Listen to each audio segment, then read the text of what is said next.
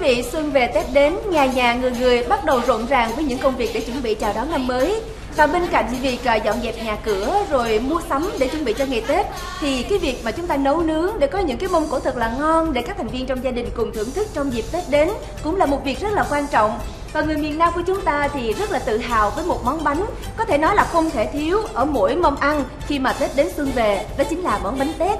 Và ngày hôm nay thì à, chương trình ngon và lành của kênh VTC 14 xin được giới thiệu đến quý vị một món ăn nghe tên thì thấy vừa quen lại vừa lạ, đó chính là món bánh tét nhân thịt hạt điều. Và đồng hành cùng với chúng ta trong chương trình ngày hôm nay là đầu bếp Đông Thành, anh là bếp trưởng của khu du lịch Bình Quế.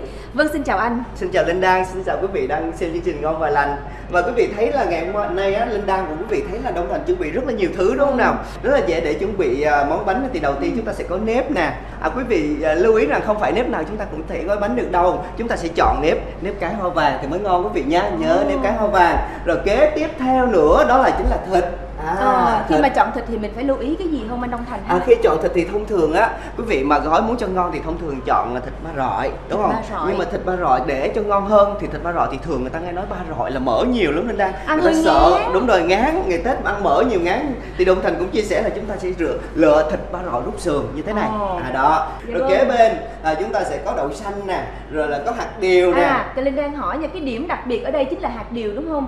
Ừ, mà theo Linh đang được biết là hạt điều có rất là nhiều chất dinh dưỡng bổ ích cho sức khỏe thì không biết cái thông tin này có đúng hay không anh Đông Thành ha? Ờ, hạt điều thì rất là nhiều vitamin và tốt cho sức khỏe chúng ta. Bên cạnh đó có vị béo rất là hài hòa. Nhưng quý vị ơi không quý vị thấy rất là lạ ngày hôm nay thông thường thì với ông bà ta gói bánh tét á, là chỉ có nếp và đậu xanh và thịt ba rọi thôi mà tại sao hôm nay lại có hột điều nữa đúng không? Trời ơi rất là lạ. Đông Thành sẽ nói sơ nè với Phú Quốc thì là sẽ có à, bánh tét mật cật nè quý vị một Ồ. món ăn một cái lá rất là tuyệt vời với trà vinh này chúng ta sẽ có bánh cà khuôn nè với Ồ. bình dương bình phước hạt điều nhiều và đồng nai hạt điều nhiều thì chúng ta sẽ có bánh tét hạt điều Ồ. à, nhưng mà bánh tét hạt điều đây là một thành phần chính trong bánh tét ha à, có thể là em chọn à, hạt điều á lên đây biết không đây là Dạ. hạt điều đúng không nào thì nếu như chúng ta muốn chọn hạt điều ngon hơn thì chúng ta sẽ chọn những hạt điều tươi với những cái mùa này thì trái mùa chưa có hạt điều tươi thì chúng ta có thể chọn hạt, Hạt điều điều như sấy thế khô. sấy khô và rang sơ như thế này Dạ. à, Nhưng mà mình phải lưu ý là hạt điều nó phải còn nguyên, không bị gãy, không bị bể gì không anh Thành ha? À, à, quý vị lưu ý là những hạt điều mà chúng ta gói, gói bánh thì không phải hạt điều nào chúng ta cũng gói được đâu phải Ồ. nhớ rằng chúng ta sẽ chọn những cái hạt điều da căng và đầy và hạt lớn như thế này thì mới Ừ. có độ béo còn nếu nhỏ thì chúng ta ăn sẽ có vị nhẫn và không ngon đâu. À, lưu ý Ừ, như vậy và nhờ em sẽ làm cái này bóp giùm cho anh ha. À, dạ. em bóp thì những cái mày ngoài này em bóp cho anh anh ha. Đó, bóp Dạ. sạch như thế này Dạ. Đúng rồi, à bóp sạch như thế này ha. Rồi, à, đã có nguyên vật liệu rồi Thì gia vị thông thường là Linh Đan nè có Gói bánh này thì chúng ta sẽ có chút xíu nước mắm nè ha. Rồi chút xíu tiêu nè Rồi có chút xíu xả, đường và gia vị thông thường. Có nghĩa là chúng ta chuẩn bị tất cả những cái loại gia vị thông thường mà trong gian bếp nhà nào cũng có. Đúng rồi, chính xác Dạ. là như vậy. À, Nếp quý vị lưu ý là nếp cái hoa vàng Và chúng ta sẽ ngâm nếp cái hoa vàng trong vòng 6 giờ đồng hồ nha. Rồi kế bên có đậu xanh này quý vị. Đậu xanh nhớ nếu như để ngon hơn trong đòn bánh tét và quý vị thấy rõ ràng là khi mà chúng ta ăn thì chúng ta không chỉ là ăn bằng bằng miệng, không bằng mắt nữa thì chúng ta nên bỏ những cái vỏ cà đúng không nào Ồ. chúng ta thấy đậu xanh trắng như thế này và cà vỏ bỏ đi Như thế thì mình bỏ thêm một chút thời gian để cho món ăn của mình trông đẹp hơn mà ăn cũng ngon miệng hơn Ừ, đúng, đúng không rồi anh? thì hiện nay linh đang biết không trong siêu thị thì là đã bán sẵn rất nhiều có À. loại cà và loại không cà ví dụ Dạ. như loại cà này thì dùng để nấu để gói bánh còn cái loại không cà thì nấu chè ví dụ như Dạ vậy vâng. rồi tiếp theo à, chúng ta sẽ có lá chuối à lá chuối đây lá chuối quý vị thấy là lá chuối này này hơi héo nhưng không phải là do lá chuối để lâu mà héo đâu đông thành là hơi sẵn rồi À, À đúng rồi, có thể là uh, hơ qua lửa than hoặc có thể là luộc hoặc là có thể quý vị phơi nắng cũng được miễn làm sao mà để cho cái lá chúng ta nó dịu như thế này chúng ta gói bánh là được rồi. ồ, hình như là cũng không có được để ẩm ướt chiếc lá đúng không Đúng anh? rồi, Mình phải làm khô. Đúng rồi, Dạ. khô thì như vậy thì cái bánh của mình nó không có bị ướt. Như vậy là xu hướng ngày xưa lên đây biết không? Ông bà chúng ta thì gói những cái đồ bánh tét lớn thì Dạ. cứ mỗi năm Tết đấy là gia đình lại sum sum vầy thì không khí se lạnh thì những cái đòn bánh tét lớn đó để cho con cháu ngồi à, đun lửa và quây củi. quần rất là đúng ấm rồi rất là ấm cúng nhưng mà ngày hôm nay thì với ở đây thì như vậy là độc thành tiết kiệm thời gian cho nên đây Dạ. nên là quý vị cũng giả nên gói những cái đòn bánh tét nhỏ thôi ha. Dạ. rồi anh sẽ cắt lá và sẽ chỉ linh đang xếp để chúng ta gói bánh thế nào cho Dạ, ngon và đẹp. cho nó đẹp chứ nhiều khi tay em vụng lắm. Rồi à, lưu ý ha. Rồi bây giờ anh sẽ để lá như thế này Dạ. một cái là đang nhớ là mình phải để dọc xuống nè. À, dọc rồi. theo cái chiều, cái thơ, cái cái cái sớ lá đúng, đúng, rồi. không anh? một cái là dọc theo cái sớ lá và một cái thì mình sẽ để ngang chiều. Rồi rồi. một cái chiều dọc nữa đúng không ạ? đúng rồi chính xác. Đây. rồi đầu tiên anh sẽ cho nếp vào nè. À, anh cho nếp vào. Với cái một cái đòn bánh tét nhỏ như thế này thì mình cho khoảng bao nhiêu nếp thì đủ à, anh mới ơi? với một đòn bánh tét nhỏ thế này thì mình cho khoảng một chén nếp thôi. Một chén nếp dạ à, vâng. rồi đầu tiên có nếp rồi mình có gì nữa ha? Rồi đậu xanh ạ đúng rồi chính xác là như vậy. Linh đang rất là khéo. Như vậy mình sẽ cho đậu xanh vào đây ha. Dạ. Lưu ý này quý vị cứ một phần hai chén nếp thì khoảng một phần tư đậu xanh. Và linh đang lưu ý rằng quý vị khán giả lưu ý rằng khi mà chúng ta ướp cái này khi mà chúng ta ngâm nếp hoặc Dạ. ngâm đậu xanh thì chúng ta cho vào đó một tí muối. À muối ạ? Đúng rồi. Tại sao? Vậy anh thành. Cho vào muối thì như vậy thấm vào trong nếp mình mình gói thì nó không có mặn không có lạc. Khi mình ăn thì gia vị mình nó không bị lạc lắm thấm ha. đều và Thấm mình đều thấy trong rất là hài hòa đúng, đúng, rồi. anh? Cho nó có vị hơi hơi đậm đậm thì nó mới ngon. Còn Dạ. lạc nó sẽ không ngon ha. Rồi à, chúng ta đã có nếp rồi có đậu xanh rồi mà giờ tiếu thịt ba rọi mà phải ướp. Dạ. Rồi anh sẽ ướp thịt. Dạ vâng. À, đây là nước mắm đúng không nào? Dạ. à, Việt Nam chúng ta thì là rất là quen với nước mắm và quý vị nước mắm nấu canh làm cái gì cũng Dạ. được và ngày hôm nay mình ướp ít thôi cho thơm Một ha. đúng rồi. có vị. Đúng rồi có vị Dạ. 200 gram thì anh sẽ ướp 1 phần 2 muỗng nước mắm nè. À, ướp một chút xíu đường thì vì mình là đúng rồi có vị miền Nam và chút xíu hạt nêm như thế này. Rồi và chút xíu tiêu. À để tăng thêm hương vị hấp dẫn nữa thì linh đang thấy rõ ràng đây là tỏi đúng Dạ, không? tỏi Giờ mình này phi lên rồi. Đúng rồi mình phi lên rồi để cho tỏi chín luôn. Dạ. không có phải sống nếu như sống chúng ta ướp vào đây thì nó sẽ dễ bị chua. À, À. anh đã phi lên rồi ha. Dạ. tỏi chúng ta hoàn toàn đã chín rồi. Rồi như thế này. À rồi chúng ta sẽ trộn đều lên. À rồi như vậy thì anh sẽ cho vào đây một miếng thịt thịt dạ bà rọi vâng. rồi và sau đó là phải có hạt điều đúng Chính không ạ như Linh vậy. Đan đã lột xong rồi đây anh rồi ơi cảm ơn wow à, rất là khéo quý vị à, hạt điều chúng ta sẽ xếp như thế này một cái đòn bánh thì chúng ta có khoảng từ từ 7 tới cho tới 10 hạt ha À, 7 đến 10 hạt điều rồi. là vừa vặn ạ. Là Bỏ vừa rồi nhiều quá thì nó bị ngấy đúng không đúng anh? rồi bỏ nhiều quá thì nó béo lắm thì chúng ta lại không ngon ha Mình rồi. cứ xếp đều. mình xếp đều một bên như thế này rồi Dạ. khi mà mình test ra thì thì ở đâu cũng có hạt đều cả như vậy rồi thì chắc chắn chúng ta không thể nào mà gói được chúng ta phải cho lên đây thêm một ít Dạ nếp đúng rồi. Đúng rồi để đậy lại như thế này à, khoảng một phần hai chén nếp nữa ha Dạ. rồi đậy lại à, rồi xong xuôi bắt đầu chúng ta sẽ Bắt sẽ gói gói lại. à, gói như thế nào mới là Đúng rồi, chúng ta kỳ sắp- công và khéo léo nó nằm ở đây đôi- đây ạ. đôi cái bánh này lại như Sắp thế này rồi đúng không Dạ. chúng ta để cho thật là chặt và nhớ là phải cho thật là tròn như thế Dạ, này vâng. à thật là chặt và thật là tròn à rồi Nhẹ tay một tí đúng rồi chúng ta sẽ nhẹ Gấp. tay gấp lại gấp cái Dạ. mí thứ nhất nè đúng không nào đây gấp dạ. xuống cái mí thứ nhất này quý vị rồi sau đó quý vị phải gấp xuống cái mí thứ thứ hai. như thế này. À đúng À. rồi. Mí thứ nhất mí thứ hai và sau đó chúng ta sẽ bẻ nhẹ cái đầu bánh tét của chúng ta lại như thế này. À rồi chúng ta sẽ dọc xuống. À, bắt đầu mình dọng xuống để đúng rồi. cái đòn của mình mình. dọng xuống cho chặt thì mình dùng muỗng dùng gì cũng được. Dạ. à mình dọng xuống như thế này.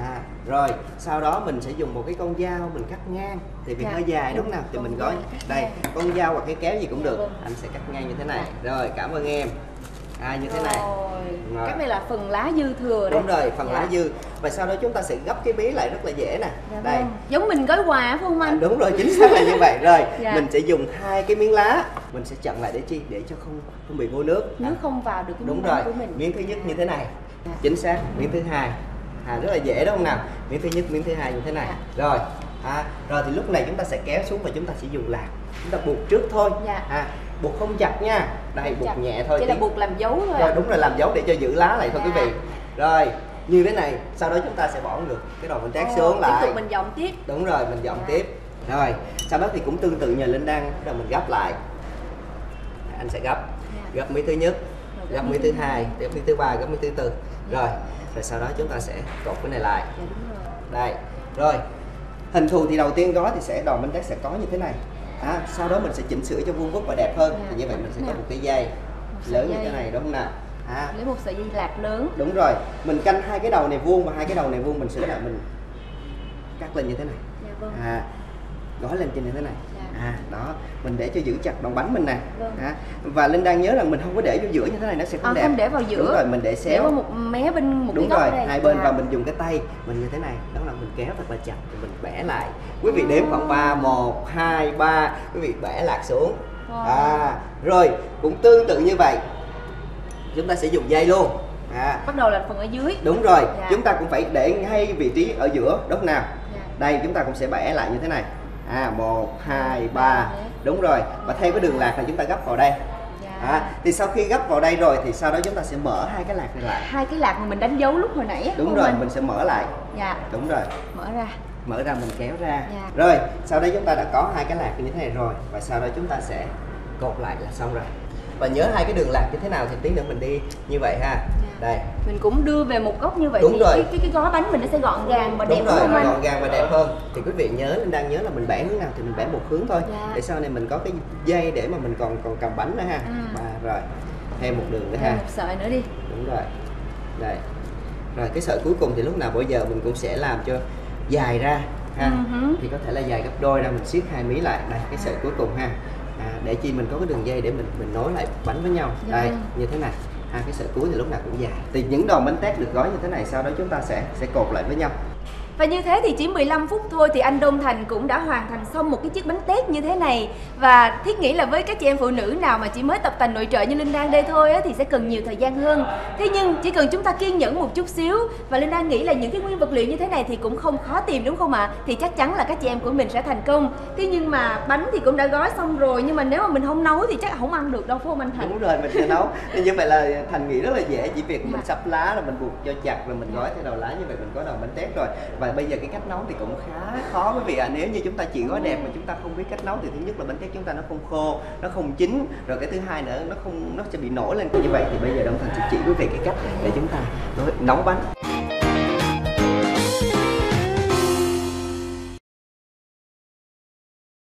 Ừ, Linh đang thấy cái nồi bắt đầu nhúc nhích và hơi khó thì cũng bốc ra rồi hình như nước cũng sôi rồi đúng không? à, đúng rồi đang lên nước sôi rồi bây giờ Dạ. anh sẽ dỡ ra Wow. nước sôi là lý Dạ. do là đang biết tại sao anh phải để nước sôi không Dạ tại sao vậy ạ? À, khi mà mình nấu bánh này thì quý vị mình để nước nguội thì khi nước nó sẽ vô trong bánh người ta gọi là nông nước thì bánh nó sẽ bị nhão ha rồi nước đã sôi rồi và ở đây mình đã có một bánh là anh sẽ bỏ bánh vào đây bắt đầu từ nước sôi đang ha những cái lá mà mình cắt dưa hồi nãy thì mình Dạ. sẽ bỏ vào trong này luôn. Ồ, bỏ vào những- đúng rồi mình chần vào những cái chỗ nào mà để cho bánh nó không có tựa được và như vậy nước nó đè xuống ngang né xuống thì như vậy bánh chúng ta sẽ chín đều và không có chỗ khô và bị nhão ha. Sau đó chúng ta sẽ đậy nắp lại. Và quý vị nhớ chúng ta như thế này chúng ta chỉ vào cần nấu 6 tiếng sau.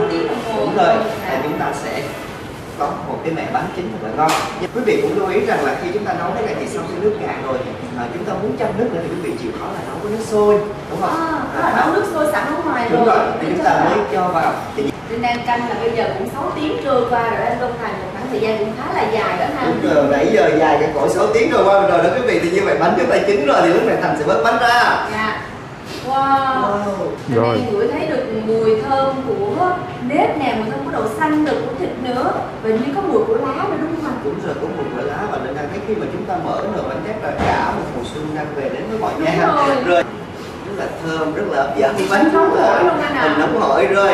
À, anh sẽ đặt cái bếp đây. Rồi xin phép anh sẽ Dọn, dọn cái bếp. dời cái bếp một bên nha. Rồi rất là ngon. Rồi như vậy thì bây giờ anh sẽ mời em à, dùng thử và cảm nhận cái vị bánh ngon như thế nào khi ăn với nhiều món để chia sẻ cùng khán giả Vâng, xin phép anh và xin phép quý vị khán giả thì Linh Đan xin được phép ờ, thử món bánh ờ, bánh tét nhân thịt hạt điều rất là đặc biệt này nha. Rất là thơm ha. Anh ăn thử một miếng đi.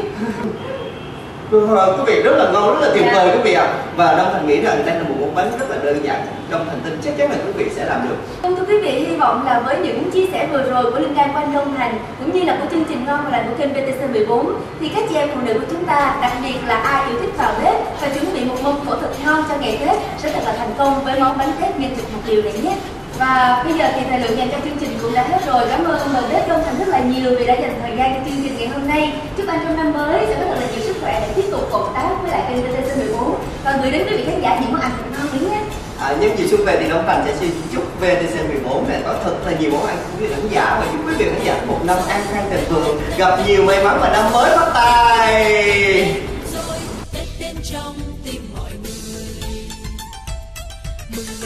trên khắp quê tôi. Đoàn hoa thơm khoe sắc xinh tươi đàn em thơ khoe áo mới.